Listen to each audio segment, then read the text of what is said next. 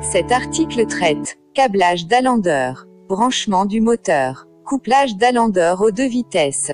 Le schéma de câble s'applique pour un moteur ayant des enroulements spécifiques du même nom. Ce type de câblage permet d'avoir deux vitesses, 50%, 100%, utilisées pour les hôtes de cuisine, les extracteurs, les centrales de traitement d'air. Définition est appelé moteur de vitesse à couplage d'Alander, du nom de son inventeur qui a déposé le brevet en 1897, un moteur qui possède un seul enroulement triphasé et dont le rapport de vitesse est de 1 à 2. Robert Dalander, ingénieur électromécanicien né en Suède en 1870, a donné son nom au moteur asynchrone à deux vitesses qu'il a inventé avec son compatriote Lindstrom en 1897. Contrôle. Les vitesses les plus courantes sont le moteur Dalander standard à 6 fils et monotension 7 à dire tri 230 volts ou tri 400 volts. En petite vitesse, le couplage des bobinages, enroulement, en série permet de diviser la vitesse par deux, deux paires de pôles. Alimentation en U1, V1, W1 uniquement. En grande vitesse en couplant les bobinages en parallèle, ils constitueront un seul et même enroulement, une paire de pôles. Alimentation en U2, V2, W2 et point triangle, barrette, en U1, V1, W1. Schéma de puissance. Attention à l'ordre des phases en petite et grande vitesse, afin d'éviter une inversion du sens de rotation au moment du passage de la petite vitesse à la grande vitesse. Schéma commande, test couplage d'Alander et autres. Dans certaines anciennes machines le Dalander est bitension mais possède 12 fils de sortie. Contrôler un moteur de vitesse à couplage d'Alander. Par rapport à un moteur standard, les bornes U1, U2, V1, V2, W1, W2 doivent être toutes en continuité. C'est par ailleurs avec cette caractéristique que l'on peut le distinguer du moteur de vitesse à deux enroulements triphasés. Branchement du moteur. Couplage d'Alander aux deux vitesses. Schéma de principe des enroulements. Du moteur de vitesse d'Alander. Branchement vitesse INFERIEURE. L1, L2, L3 arrivée ligne 3 phase à U1, V1 W1 U2, V2 W2 libre. Attention, les schémas de cette page sont purement théoriques car il n'existe pas de repères standards et ceux-ci changent au gré des câblages de machines, des marques de commutateurs et du fabricant du moteur. Pour tout V1. La constitution des enroulements d'un moteur de vitesse à couplage d'Alander étant différente d'un moteur simple vitesse, la mesure doit être faite uniquement sur l'entrée de l'une ou l'autre vitesse donc entre U1, V1, et W1 ou entre U2, V2, et W2. La valeur de mesure doit être égale entre les trois bornes de chaque entrée, soit U1, V1 égale U1, W1 égale V1, W1 et U2, V2 égale U2, W2 égale V2, W2. Si une différence notable de mesure est détectée, cela signifie une partie ou entièrement en court-circuit d'un enroulement et donc moteur HS. Si la sortie des 6 fils est avec cables au lieu de plaques à bornes, la mesure est exactement la même sur chaque groupe de fils correspondant à chaque vitesse. Moteur de vitesse d'Alander à 9 FILS de sortie. Le schéma est le même que le Dalander 6 fils, sauf que les 3 fils du couplage étoile sont sortis pour permettre un démarrage étoile triangle. Branchement et couplage moteur de vitesse, de tension, 12 sorties de fil. Attention, il ne faut pas confondre avec le moteur simple vitesse bitension à démarrage série, parallèle dont le sujet est traité à l'article Moteurs spéciaux. Le couplage des deux vitesses pour ce type de moteur n'est plus un couplage d'Alander, c'est un couplage par inversion de pôle. Couplage en 400 volts vitesse inférieure. Couplage 400 volts vitesse supérieure. Les repères ne sont donnés qu'à titre indicatif car ils diffèrent suivant le fabricant du moteur et la marque du commutateur. De nos jours ces moteurs ne sont en service que sur certaines anciennes machines bitension. Attention, les schémas de cette page sont purement théoriques car il n'existe pas de repères standards et ceux-ci changent au gré des câblages de machines, des marques de commutateurs et du fabricant du moteur.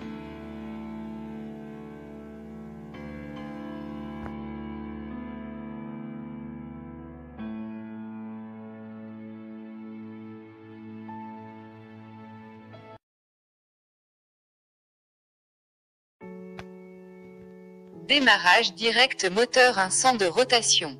Les schémas suivants permettent d'alimenter un moteur asynchrone triphasé directement sur le réseau.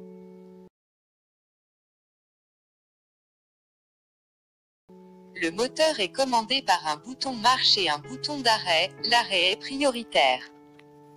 Le schéma de puissance est constitué principalement d'un sectionneur, d'un contacteur et d'un relais thermique. Dans le cas d'une partie commande en basse tension comme montré sur le schéma de commande, il faut ajouter un transformateur, mono 230V ou mono 400V, et ses protections. Ce montage est aussi équipé de voyants optionnels.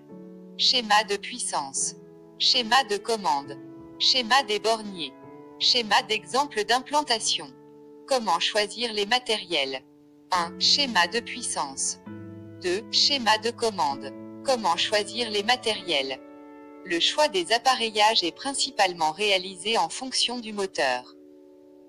Il faudra calculer le courant qui traversera les appareillages en cherchant le courant nominal du moteur, ou bien en utilisant sa puissance utile, dans ce cas il faut diviser cette puissance par le rendement du moteur et utiliser. Une fois le courant calculé il ne reste plus qu'à choisir dans un catalogue le contacteur, et ses auxiliaires, le relais thermique. Il faut aussi dimensionner le transformateur en fonction de la puissance nécessaire en additionnant les courants, d'appel du contacteur et les voyants. Il suffit alors d'utiliser la formule S égale UXI ou I égale SU.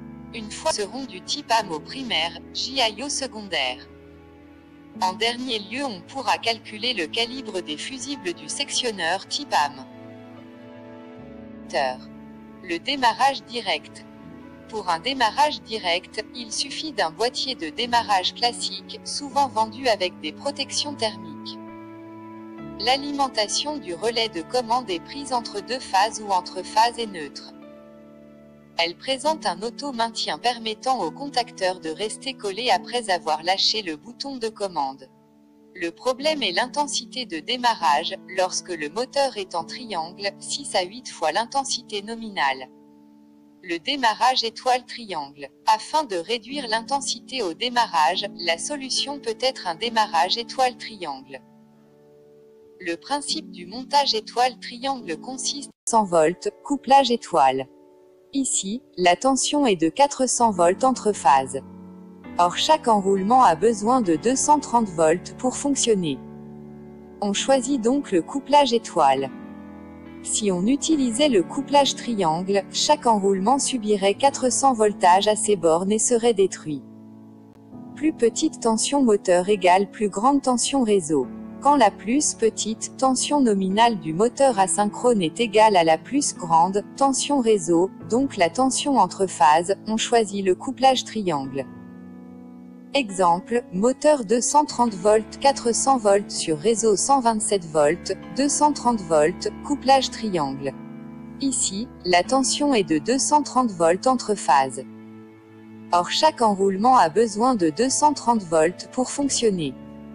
On choisit donc le couplage triangle. Couplage impossible. Plus grande tension moteur égale plus petite tension réseau. Quand la plus grande tension nominale du moteur asynchrone est égale à la plus petite tension réseau, donc la tension entre phases, aucun couplage n'est possible. On ne peut pas utiliser ce moteur asynchrone. Exemple, moteur 230 volts, 400 volts, sur réseau 400 volts, 690 volts, couplage impossible. Aucune tension commune. Quand aucune tension n'est commune, aucun couplage n'est possible. Exemple, moteur 127 volts, 230 volts sur réseau 400 volts, 690 volts, couplage impossible, moteur détruit. Parenthèse fermante point. Par ailleurs, un moteur asynchrone 400 volts, 690 volts n'aura jamais assez de tension à ses bornes avec un réseau 127 volts, 230 volts, quel que soit le couplage. Exemple, moteur 400 volts, 690 volts sur réseau 127 volts, 230 volts, couplage impossible. Barrette de couplage, étoile ou triangle. Le couplage étoile ou triangle d'un moteur asynchrone se fait à l'aide de barrettes sur la plaque à borne. Couplage étoile triangle pour moteur asynchrone, position des barrettes. Deux barrettes sont nécessaires pour le couplage étoile. Trois barrettes sont nécessaires pour le couplage triangle. Idée astuce pour retenir les barrettes de couplage. Couplage étoile, barrettes horizontales comme les branches du E majuscule de étoile. Couplage triangle, trois barrettes comme triangle. Couplage d'un moteur asynchrone en pratique. En pratique, le couplage étoile-triangle peut ressembler à cela. Barrette de couplage triangle pour moteur asynchrone. Barrette de couplage étoile pour moteur asynchrone. Exemple de moteur asynchrone. Le moteur asynchrone n'existe pas que dans les cours d'électrotechnique. Voici une plaque signalétique d'un moteur asynchrone de puissance 740 watts, égale un cheval vapeur. Moteur asynchrone 220 volts, 380 volts. Plaque signalétique du moteur asynchrone. On reconnaît les anciennes tensions réseau 220 volts et 380 volts, aujourd'hui, 230 volts et 400 volts, le COSFI, les couplages et la puissance. On peut brancher, couplage étoile, ce Exemple, moteur 230 volts 400 volts sur réseau 127 volts, 230 volts, couplage triangle. Ici, la tension est de 230 volts entre phases. Cet article traite démarrage direct moteur 200 de rotation. Les schémas suivants permettent d'alimenter un moteur asynchrone triphasé directement sur le réseau. Le moteur est commandé par un bouton marche avant, un bouton marche arrière et un bouton d'arrêt. L'arrêt est prioritaire. Le schéma de puissance est constitué principalement d'un sectionneur, de deux contacteurs équipés d'interverrouillage et d'un relais thermique. Dans le cas d'une partie commande en basse tension comme montré sur le schéma de commande, il faut ajouter un transformateur, mono 230 volts ou mono 400 volts, et ses protections. Ce montage est aussi équipé de voyants optionnels. Schéma de puissance. Schéma de commande. Schéma des borniers. Schéma d'exemple d'implantation. Comment choisir les matériels? 1. Schéma de puissance. 2. Schéma de commande. 3. Schéma des borniers. 4. Schéma d'exemple d'implantation. 5. Comment choisir les matériels. Le choix des appareillages est principalement réalisé en fonction du moteur. Il faudra calculer le courant qui traversera les appareillages en cherchant le courant nominal du moteur, ou bien en utilisant sa puissance utile. Dans ce cas, il faut diviser cette puissance par le rendement du moteur et utiliser la formule. Une fois le courant calculé il ne reste plus qu'à choisir dans un catalogue les deux contacteurs qui doivent doivent posséder un interverrouillage entre eux, c'est-à-dire une protection mécanique pour éviter l'appui sur les deux contacteurs en même temps, ils sont vendus en bloc, les auxiliaires des contacteurs à choisir en fonction du nombre de contacts souhaités, dans notre cas deux auxiliaires composés de un N, C et un N, O, le relais thermique. Il faut aussi dimensionner le transformateur en fonction de la puissance nécessaire en additionnant les courants, d'appel du plus gros contacteur, de maintien des autres contacteurs et des voyants. Il suffit alors d'utiliser la formule. Une fois la puissance du transformateur choisie, il faut calculer les fusibles en conséquence, toujours en utilisant la formule S égale UXI. Les fusibles seront du type AM au primaire, JIO secondaire.